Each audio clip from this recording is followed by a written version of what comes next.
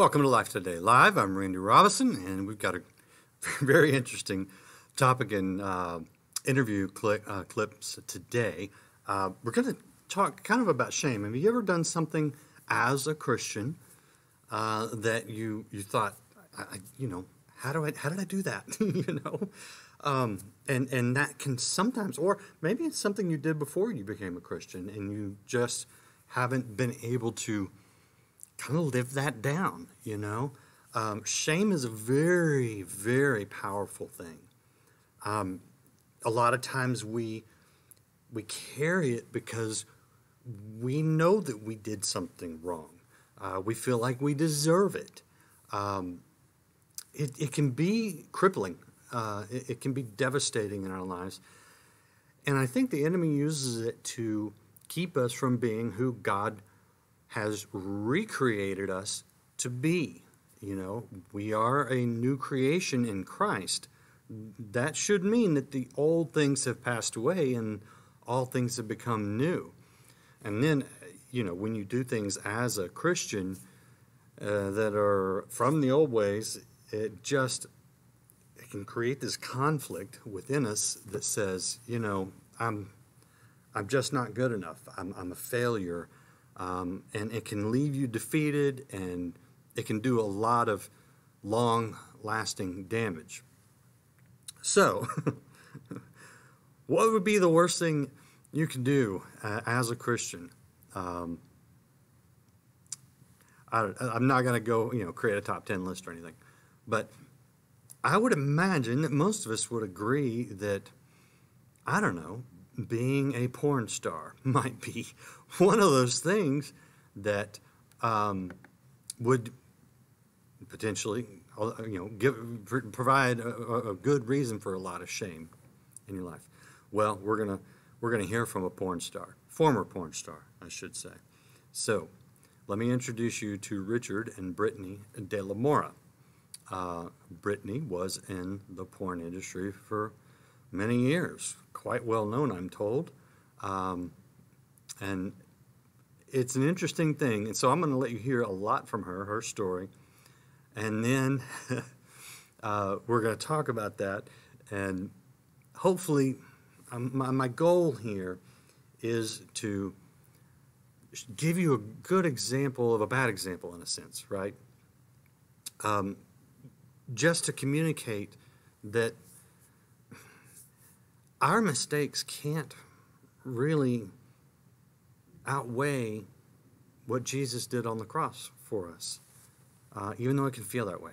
So here's Brittni and Richard De La Mora. You know, I feel like our story is really like the modern day Gomer and Hosea, where God calls this prophet, this man of God, to go after this woman who's just this prostitute and selling herself just to show his great love for humanity. And that's what he's done in our life. Um, growing up in my household, I didn't know who God was. Um, he wasn't encouraged nor discouraged. We just simply didn't know him. And because God is love, there was very much a lack of love in our household. And, you know, unfortunately, I would hear things from my mother like, I hate you and I mm-hmm. wish I never had you. Mm-hmm. And, you know, she spoke these things over my life, and eventually I became a product of those words that she spoke over me. And I became this young woman who just felt so rejected and unloved that I started searching for love in all the wrong places. And I thought, you know, I want to be so far away from home. And, and when given the opportunity, um, I moved to college and I started dancing so that I could, you know, afford living on my own. Um, and from there, there were a couple producers that came in and said, you know, you're beautiful and you are destined to be a star. We love you. You know, we make romance movies. If you're ever interested, give us a call. Wow. Um, I knew that they weren't talking about romance Yeah, movies. I, not Hallmark movies. Right. Yeah. I knew what they were talking about, but where I was in my life, I was 18 years old. Um, And I just felt like, you know, they were feeding me these words that I didn't hear at home. They were affirming me. And so I thought that I found my place of belonging and I was already promiscuous and taking my clothes off for money. So I decided to take it one step further. And inside, you know, I think subconsciously we always try to hurt the ones that we love, not because they loved us well, but because they hurt us. And so there was this rebel inside of me that just wanted to shame, you know, those those whom I loved. And I got into the adult film industry. I was there for seven years. At about my three and a half year mark, I had, you know, been a full blown heroin addict, and I was just, you know, on everything cocaine and. Um, I called my grandma one day and I just said, Grandma, like, I feel like I am going to kill myself mm. if I don't get help. And so she came and she picked me up from Los Angeles and moved me into her house in San Diego. And I announced that I was quitting the porn industry. That was my intention. Mm. And my grandpa had been going to church. So I said, Could I go with you? And he takes me to church, and I encounter the presence of God that day. And I received Jesus as my Lord and Savior.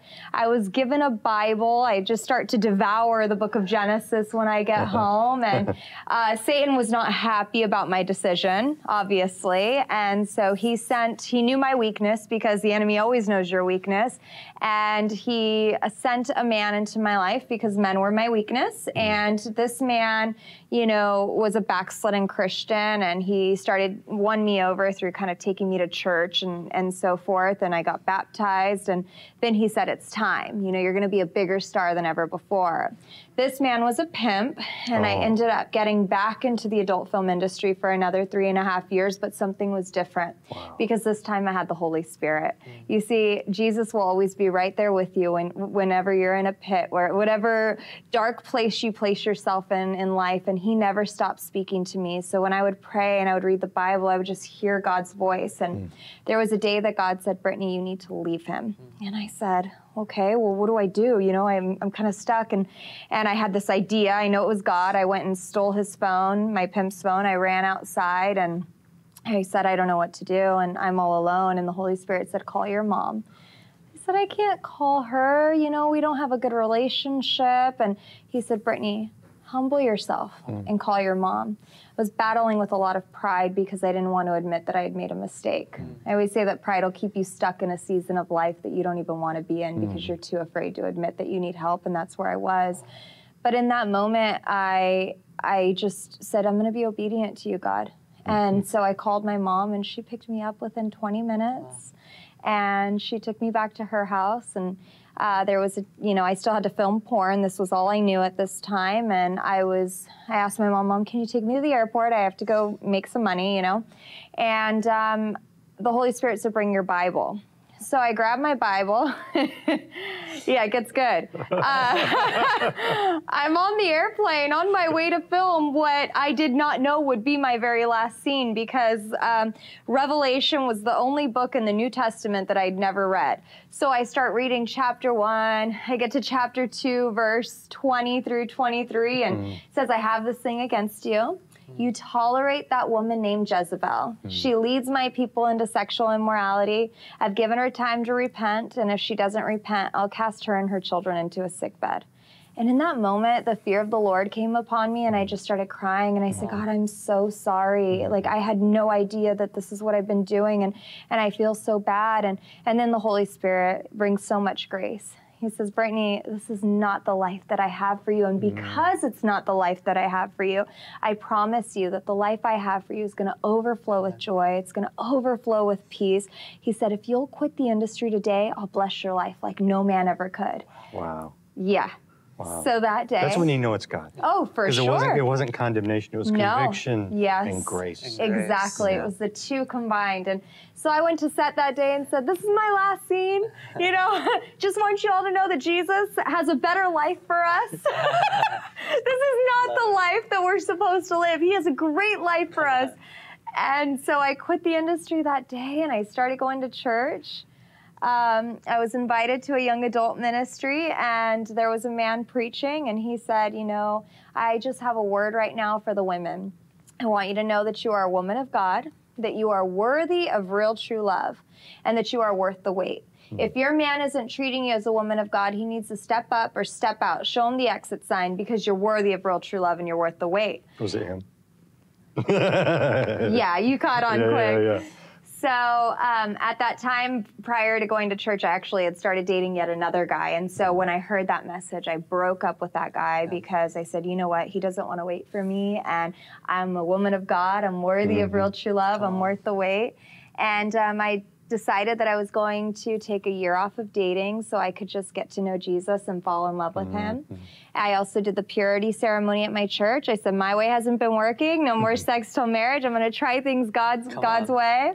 And over that year, I fall so madly in love with Jesus. And I also fall in love with this handsome honey right here. Mm-hmm. And about eight months after my year was up from my vow, my commitment that I had made to God, I honored that. Um, eight months later, we started dating. And mm-hmm. now we've been married for almost three years. Yes. We have a baby on the way. Congratulations. Thank, Thank you. you.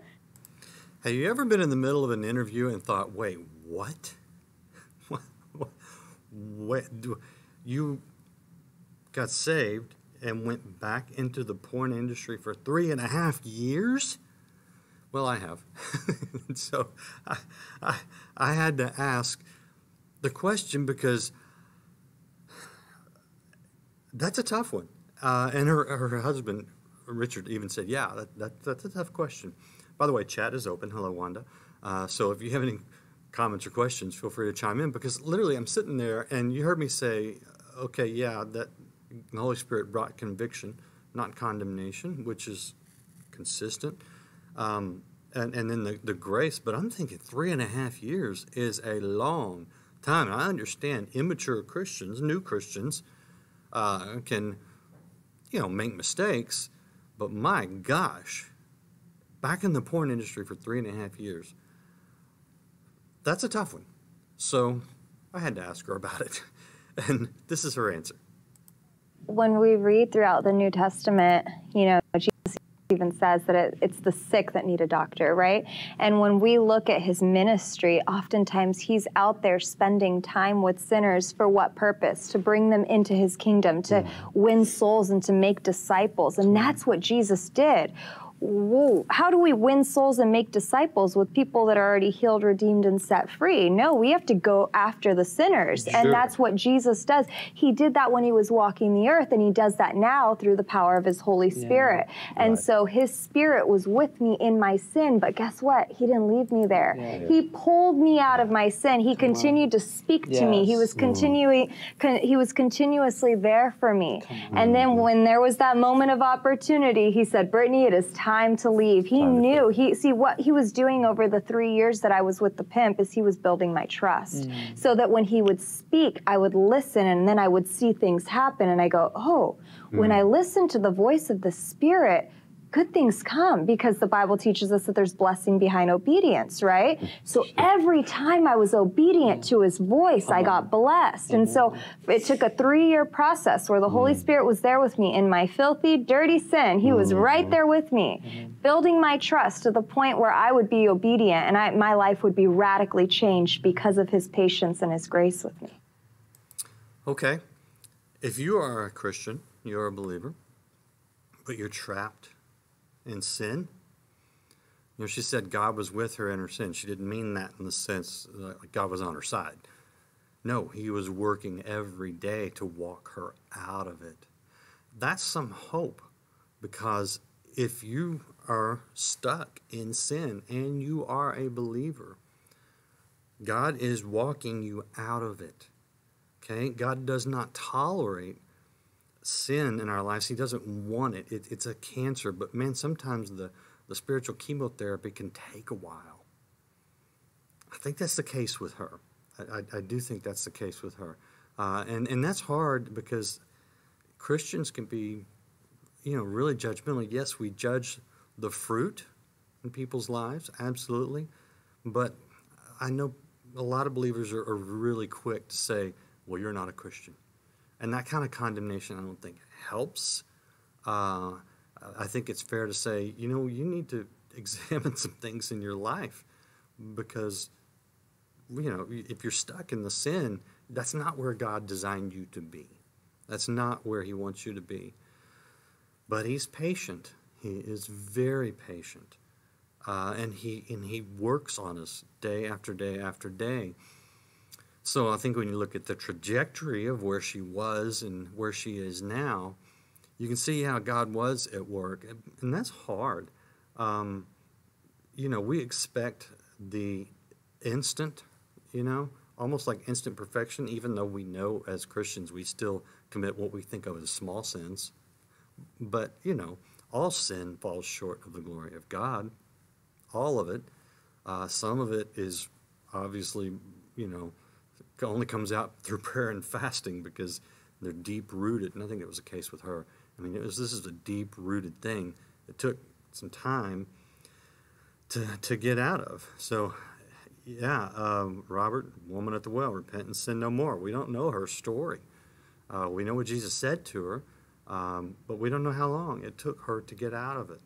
Um, Bunkle's Garage, nice handle, says we're all on our own paths in our journey. One should not judge one another um, because we're we, yeah, we're not without sin ourselves. That, that's true. That's true, and it can be hard. I think it really takes um, it really takes God's Spirit to love someone out of out of sin. You know, it takes grace to get into the sinner's world. It takes truth to get them out of that sin, and we can be impatient. You know, um, but God has a purpose, and He will work it if we will let Him. And she let Him. It just took it took a long time, uh, in in my opinion. But you know, I think sometimes our our timetable and God's time timetable aren't necessarily the same. But look at where she is now. Now, here's an interesting thing. I want you to hear her husband's side of the story because I think it tells a lot. This is her husband, Richard. By the way, if you're catching this late, that was Brittni De La Mora, former porn actress for a long time, seven years, uh, three and a half of which she says she was a Christian and talks about the Holy Spirit building trust in her and and speaking truth to her, all of which sounds right to me, you know. Um, but then this is her husband, Richard. I didn't even know she was in the adult film industry. Sure, how would you? I know Right. this is funny, but the way that I found out was I brought my cousin to church, and my cousin actually saw her, and he goes, "I think I know who she is," and I'm like, "Wait, what do you mean?" He goes, uh, "I have a confession to make," and I said, "What's what's that, cousin?" He goes, um, "I used to watch her adult videos," and I was like, "Oh, okay," and. Um, I said, yeah. She goes, I think it's so and so. And soon, soon enough, that was she was yeah, that was her. And um, that's how I found out that she was actually in the adult film industry. So random, right? Mm-hmm. But even me meeting Brittni, that was never just a thought that came into my mind. You know, when I first met her, I actually met her at Starbucks at a coffee shop. And the day that she gave her life to the Lord again and dropped that guy, she said, Hey, I want to thank you. And I'm like, Why? He goes, She goes, you know, my friends and I were calling you Mr. Ditch. And I said, Mr. Ditch? He goes, Yeah, have you ever seen that movie called Mr. Hitch by Will Smith? And I said, Yeah, where he hooks people up. He goes, Yeah. Well, you're the pastor that breaks people. and I was like, oh my gosh, I'm so. I felt literally, I felt so bad. Oh my gosh, I'm so sorry to mean that. Because she's so funny. She's like, no, he, he he wasn't good for my life anyway. I didn't need him. but uh, it was so funny the way that we met. But from there, you know, we always just had um, a great friendship, and I, we I honored her by her taking that one year off. I was also seeing somebody at that time as well, so I didn't have my eyes on her. But what I loved about Brittni is that, you know, Brittni was always a servant in the house. You would see this girl in the hallway, she would just light up like a mm-hmm. light bulb for Jesus. Mm-hmm. I would see her right when I walk in, she'd be greeting the people, she'd be loving on people, she would be doing outreaches with us. We have a ministry called Voice, and she would be there helping us, praying It's for the homeless- homeless. Uh, it was a homeless ministry, praying for the homeless, mm. serving. But what I've always honored about this woman is her heart. Mm. She is a servant and she has a heart of gold. And when her one year was up, I noticed that about her. And um, obviously, I broke up with my girlfriend, and that time I had started to to do yeah, with me. nothing to do That with her. Yeah, that- own yeah. Yeah, yeah, that- he yeah. didn't even know I liked him. I started, you know, to, to you know to fall for her, and we started to talk as friends. And but you know, one of the hardest questions that popped in my mind was like, how am I going to introduce her to my parents? Yeah. You know, my mother and father, uh, obviously they're Christ followers, and you know, it was tough, you know, to go to my parents. You know, I like this girl. She's an ex porn star. You know, it's Yeah, not right. it's not a regular conversation somebody would would have, but. Um, That well, could bring a lot, a lot of baggage into a of, relationship. of course, of course, and a lot of questions, Sure. which happen um, in our dating process. A lot of questions, but you know, God is so good and faithful, and, and I pray like God, I need your help in this in this situation. Well, um, long story short, um, Brittni was actually sharing her testimony on a Sunday. My parents were there. Out of all weekends, were there that weekend Because they live out of town. because they live out of town Oh, okay. um, in Santa Barbara, and we live in San Diego. When they heard her, the, her message, my mother just fell in love with her. Mm. She looked at me. She goes, "Richard, did you see that woman?" I said, "Yes, that's a good friend of mine." You know, and she goes, "I love this girl." And I said, "Mom, why do you love her?" And she said, "You know, Richard, she is a woman who has been broken by God." And I said, "Mom, why do you like her? Because because she's been broken by God." And she said, "Because." She's no longer dependent on herself, mm. but she's dependent on Him. Mm. Mm-hmm. She was telling me, Richard, brokenness isn't a liability. Brokenness is an asset. Mm. And this woman has been t- tried, she has been tested through the fire, and look at her life. She is gold. Yeah. And when I heard that, oh my goodness, I was rejoicing and praising because bet you the next conversation I would have with my parents that her and I were talking to each other. Hmm. And from there, the rest is history. Um, we got married on February 20th, and it's just been a blessing ever since. And she's my best friend. I love her, and I'm just so grateful for her. What year was that? Um, 2016. All right. I love that Richard didn't even know when he saw her. He didn't know about her, her past in, in the porn industry. He didn't know about her addictions. Excuse me. Sorry about that. It wasn't because he was stupid, okay? It was because God had changed her, completely changed her. When you know she walks on this in our offices and on this set, she i looked at her and thought really this is because i knew we had a former porn star coming and when i met her i thought wait that's you? Because she just radiates with a purity that can only come from god. When richard looked at her he didn't see her sin because god had brought her out of that. He saw jesus. That's the hope that i want to convey to you. Wherever you're at whatever sin has bound you in the past or even dogged you to this day, Jesus can bring you out, completely out, and put a radiance on you that other people will look at and not see your past. Okay? They will only see Jesus. That is great hope.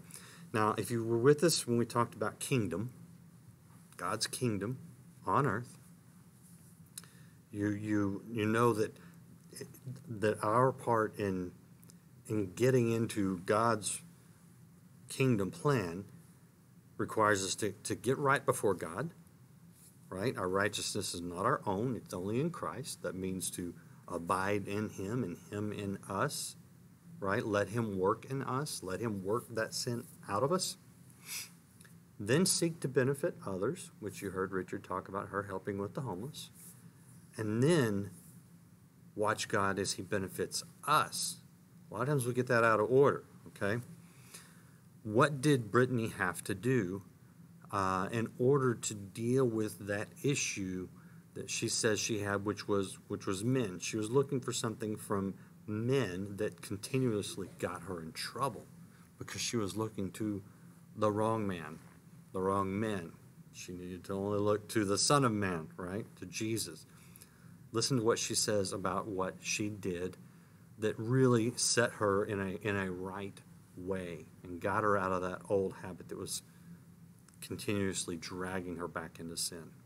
It's so important because before falling in love with Jesus, I couldn't love myself. I didn't know how to love myself mm-hmm. because you can't see yourself the way that God sees you unless you're in love with Him and you have His heart for humanity. You develop His heart for yourself and you start to mm-hmm. see yourself through His mm-hmm. eyes. And so before falling in love with Jesus, I settled in every relationship. I look at some of the guys I dated and you know, I got to give, you know, give myself grace, but it's like, what were you thinking? You know what I mean? And obviously, like, I pray for them and, and I want to see all of my exes on fire for Jesus, of mm-hmm. course. But I was at a place in life where I didn't know my value mm. and I didn't know my worth. And mm. so I settled for men who could never recognize my value and worth because I didn't see it in myself.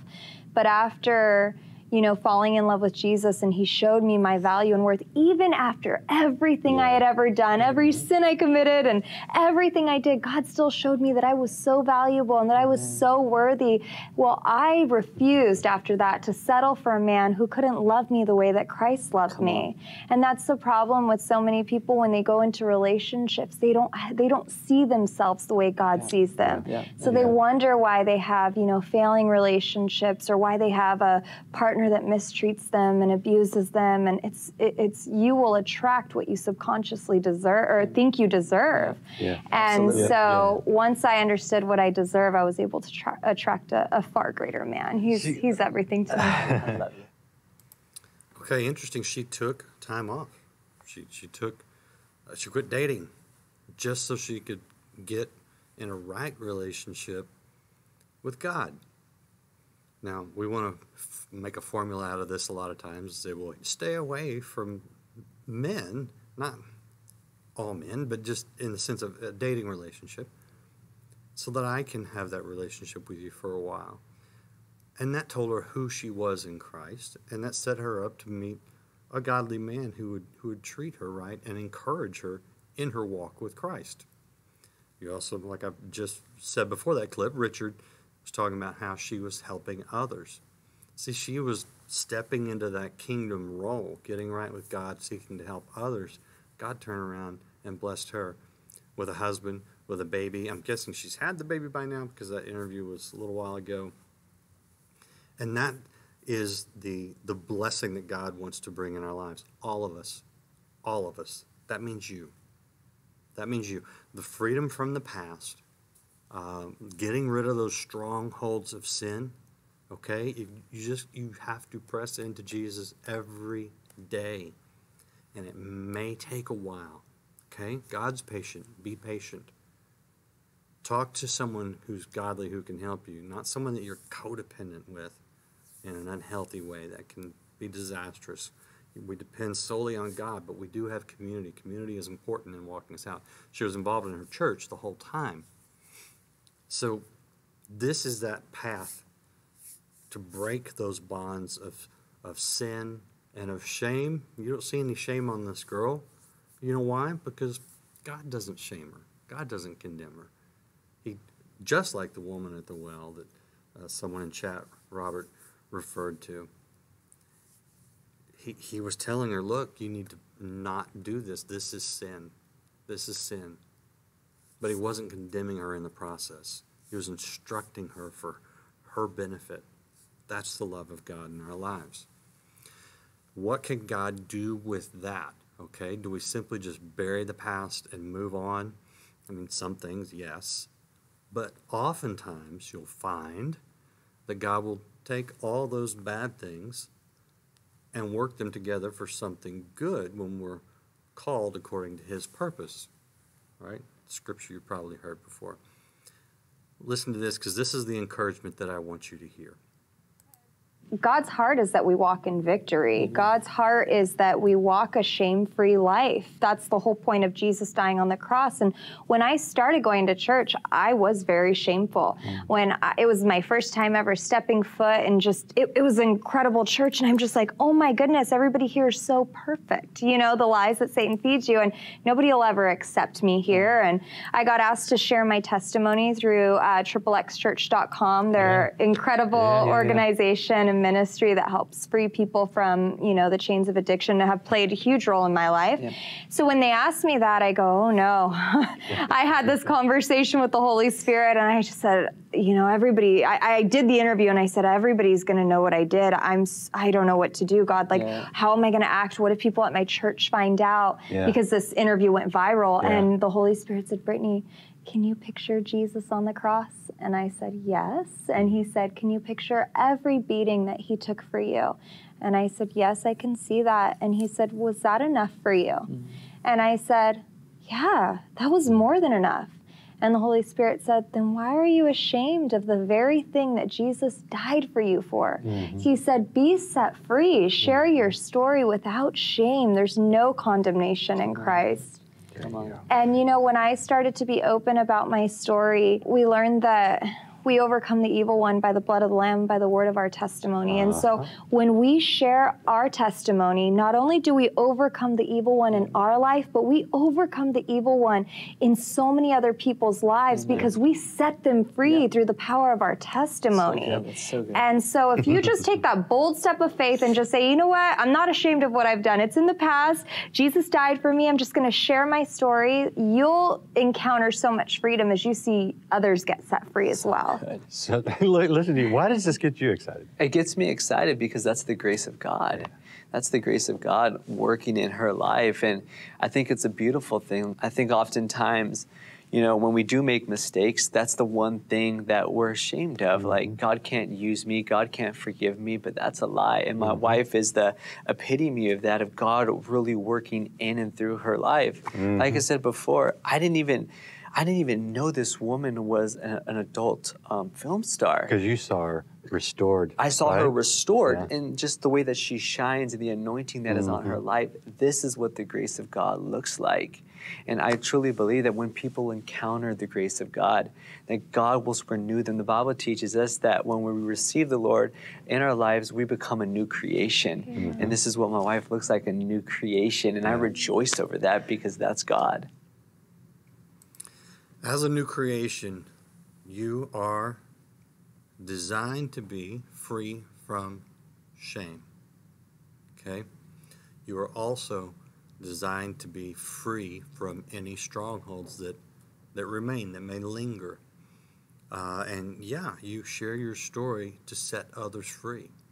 If you haven't gotten there, that's where the enemy is battling you right now. Now, I'm going to say something in response to chat. Um, I, heard, I went and heard Mark Driscoll speak last night. He was here local, and he preached one of the most powerful sermons I've heard, and I've heard a lot of sermons. Uh, if you're having difficulty trusting and reaching out to others, it is no doubt because you've been hurt in the past. I want you to understand something, and this is not this is a little off topic, but I think it's helpful. Um, we are living under a new covenant, okay? There was the old covenant with the Israelites, the new covenant with those who are in Christ. That covenant relationship um, dictates, in a sense, uh, the, the rules for our life, okay? Um, it also provides the benefits, you know. Um, it provides the blessings. It's the framework under which we uh, interface with God we are in a new we are in a covenant relationship with god. There is a counterfeit to that covenant. That counterfeit is it's demonic. It's from it's from the enemy. That's what he does. He counterfeits. He doesn't create. God creates the enemy counterfeits. God creates a covenant. What does the enemy create? He creates what are called inner vows. We take these vows oftentimes out of pain and I suspect if you're having difficulty with community and reaching out to others, um, it's because you've been hurt and you made an inner vow that I will never do that again because I got hurt. That is a counterfeit to the covenant that says, I can forgive, that I won't listen to the words of others that are not true. I will only listen to what God says about me. And that is the trap that shame can put us in, as well as hurts from the past. Because in order to operate the way God has designed us as a new creation to operate, we have to find our identity in what He says about us, who He says we are. And we have to break those inner vows that say, I promise to myself that I will never put myself in a position to get hurt again. I won't reach out to others. I won't trust others. I won't share my story because the criticism for this girl, off the charts. There will probably be comments on this video after it, it hangs out there and people watch it in replay. You know, well, she obviously wasn't a Christian. Well, she, uh, well, how could she? Blah. Okay. You cannot listen to the critics. You got to listen to what God says. What God says about you, who you are, what He wants you to do, because that's where the freedom is. If you've made that inner vow, just, just examine yourself. Say, have I made that vow to protect me from getting hurt again? And is it, is it hampering me in my ability to be a part of a community, to share my testimony, to get rid of the shame, or to drop that sin that's just dogging me for years? Go back to the covenant. You need to go back to the covenant because God will tell you who you are, and He will tell you how to be free from those things free from the sin, free from the shame, free from that inner vow where you're trying to protect yourself when God is your protector. All right. Uh, thank you for being in chat. If you if, if this uh, was of value to you, you think it would be of value to others, please do share it. Um, the replays are hanging on these places: YouTube, Facebook, uh, the Periscope, which is tied to Twitter, and then my personal Twitch account. Um, but if you think this will help somebody, please please do share it. Um, give it if you if you do the like thing, that doesn't just make me feel good. It pushes it up in the social media world, so that's always good too. Excuse me, but just know who you are in Christ. Whatever you're dealing with, He'll walk you out of it. You stay close to Him every day. You won't have to live in shame, and you will have that testimony you can share with others to help set them free.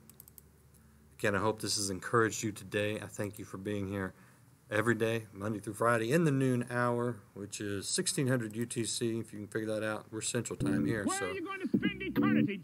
join us again next time. Where are you Appreciate you being here. Eternity? LIFE Today Live. Jesus Christ says there's only one way to heaven.